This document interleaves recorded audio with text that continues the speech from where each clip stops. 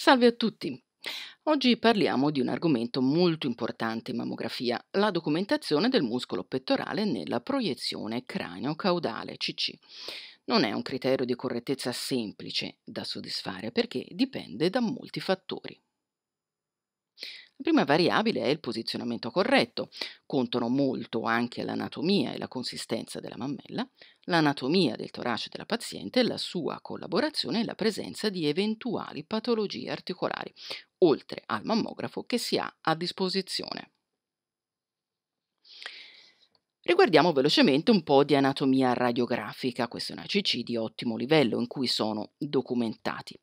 Il tessuto posteriore o profondo esterno, il tessuto profondo centrale con il muscolo pettorale a forma di lunetta, il tessuto profondo interno, quindi sia il prolungamento ascellare che il solco intermammario, capezzolo in profilo e una buona distensione, quindi tutto lo spazio retromammario nella sua completezza.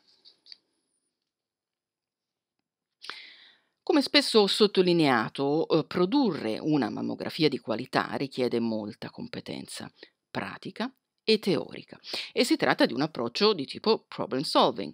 Se eh, non si riesce mai o quasi mai a documentare il muscolo pettorale nella CC, dobbiamo chiederci quale sia, o meglio, quali siano i motivi. Cosa occorre sapere per documentare il muscolo pettorale? E stiamo parlando di una paziente standard, cioè quali sono le domande da porsi? La prima è questa.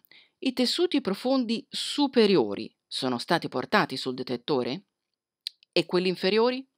L'altezza del detettore è quella giusta? La posizione del torace della paziente rispetto al detettore è quella giusta? Nel caso ci sia un quadrante dominante fra l'interno e l'esterno, questo è stato documentato tutto? E la posizione della spalla ipsilaterale? E delle spalle tra loro? Oggi eh, ci concentreremo su questi primi tre aspetti. Immagini 1 e 2 a confronto. È facilmente visibile che manchino i piani profondi e quindi il muscolo pettorale, ma con una grande differenza. Nella seconda immagine il taglio, il cut-off, è perpendicolare al detettore, mancano sia i tessuti inferiori che i superiori, nella stessa quantità. Nella prima immagine il taglio è obliquo, complicato dalla rotazione. Mancano di più i tessuti profondi nella direzione della rotazione, che può essere sia superinferiore che infrasuperiore. E lo si capisce che c'è stata una rotazione dal capezzolo non in profilo. Mi spiego meglio con questo disegno taglio perpendicolare nel disegno numero 2, taglio obliquo dovuto alla rotazione diretta superiormente nel disegno numero 1, per cui si perdono più tessuti superiori e si ottiene la condizione del capezzolo non in profilo. Ma come si ottiene allora la condizione del capezzolo in profilo nelle mammelle standard? Beh, la si ottiene quando i quadranti superiori e inferiori sono paralleli tra loro e parallele al detettore. Quando non è in profilo, nelle mammelle standard, il capezzolo punta verso il tessuto mancante. Se il capezzolo è rivolto verso l'alto, si ha la perdita dei tessuti superiori profondi. Se verso il basso, dei tessuti inferiori profondi. E se manca il tessuto profondo in qualsiasi direzione, è difficile documentare il muscolo pettorale. Come correggere allora questo problema e ottenere nello stesso tempo la documentazione di una parte più estesa dei tessuti posteriori, quindi eventualmente anche del muscolo pettorale? Se il capezzolo è rivolto verso l'alto, il problema è l'altezza del detettore, va abbassato e inoltre occorre distendere con decisione i tessuti superiori in avanti. Il capezzolo punta verso il basso? Il problema è nella presa della mammella va sollevata bene. Consiglio di eseguire un movimento dal basso verso l'alto per raccoglierla tutta, recuperando così i tessuti inferiori mancanti, prima di portarla sul detettore. Per quanto riguarda eh, le mammelle con quadranti superiori ed inferiori di diverse dimensioni, vi consiglio di guardare il capitolo 3 della serie degli artefatti, sempre su questo canale. Nella prima immagine un taglio perpendicolare, capezzolo è piatto ma in profilo.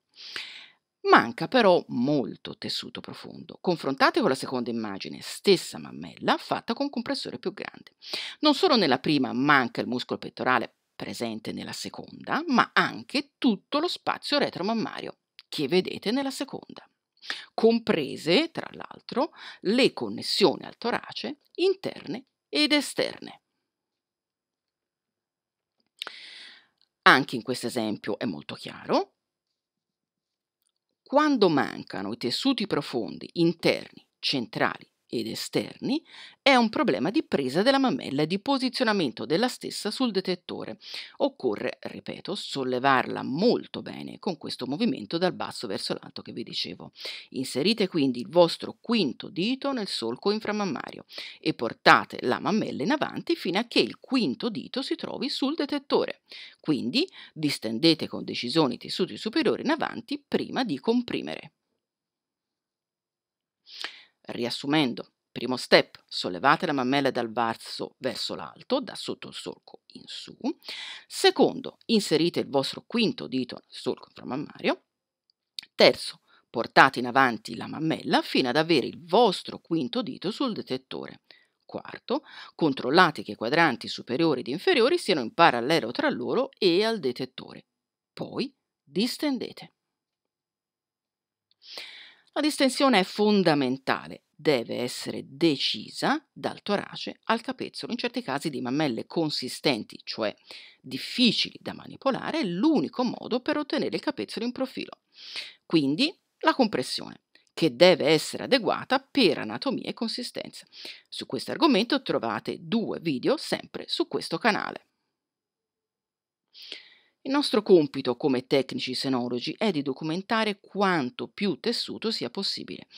Non è importante solo il muscolo pettorale, che è la parte profondo centrale. Sono importanti anche i tessuti profondi laterali e mediali. Nelle due immagini che vedete, stessa mammella, tecnica diversa di posizionamento, ma possiamo fare un confronto fra le due. Nella prima, capezzolo non perfettamente in profilo, ma accettabile. Nella seconda, in profilo ampiezza in senso antroposteriore centrale, molto più importante nella seconda immagine rispetto alla prima. Presente anche molto più tessuto profondo interno nella seconda rispetto alla prima, sempre. E se osservate questo kinking vascolare, Notate maggiore estensione posteriore anche di tessuto profondo esterno, sempre nella seconda immagine rispetto alla prima. Dobbiamo cercare di documentare lo spazio retromammario nella sua estensione completa. Mi fermerei qui per questa prima veloce lezione su questo argomento, spero vi sarà utile. La prossima volta valuteremo questi altri aspetti. Va comunque sottolineato che soddisfare i criteri di qualità della proiezione CC è veramente molto difficile, più difficile che per la proiezione medio-laterale obliqua. Vi ringrazio dell'attenzione e vi aspetto al prossimo video. Ciao a tutti!